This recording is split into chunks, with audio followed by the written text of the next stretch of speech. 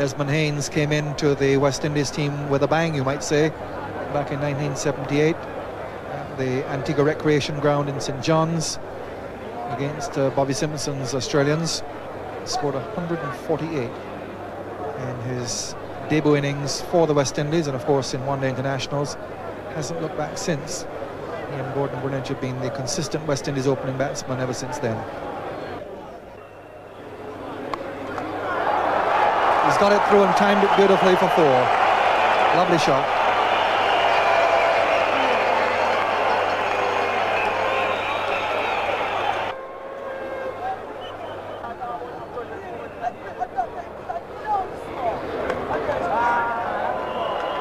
Just over the head of mid-wicket, it'll go for four. And perhaps a deliberate shot by Haynes, picking that ball up off his toes and lifting it over mid-wicket for four.